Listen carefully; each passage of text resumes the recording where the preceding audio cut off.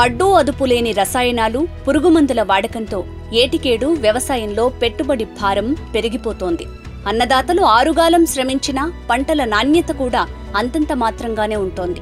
ఈ పరిస్థితుల్లో పెట్టుబడి భారం తగ్గి పంట నాణ్యత పెరగాలంటే ప్రకృతి సేద్యమే ఏకైక పరిష్కార మార్గం. ఈ అంశంలో రైతులకు అవగాహన కల్పించేందుకు రైతు నేస్తం ఫౌండేషన్ గుంటూరు జిల్లా పుల్లడిగుంట దగ్గరలో కొర్నెపాడు గ్రామంలోని రైతు శిక్షణ కేంద్రంలో జులై ఒకటి ఆదివారం ప్రకృతి వ్యవసాయంపై ప్రత్యేక శిక్షణా తరగతులు నిర్వహిస్తోంది.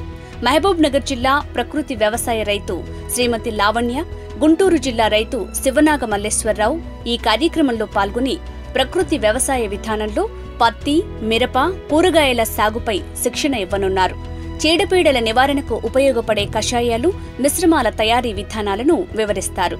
అనంతరం శిక్షణ పొందిన రైతులకు సర్టిఫికెట్లు అందజేయబడతాయి. పత్తి మిరప కూరగాయల దేశీయ విత్తనాలు ఆ రోజు అందుబాటులో ఉంటాయి.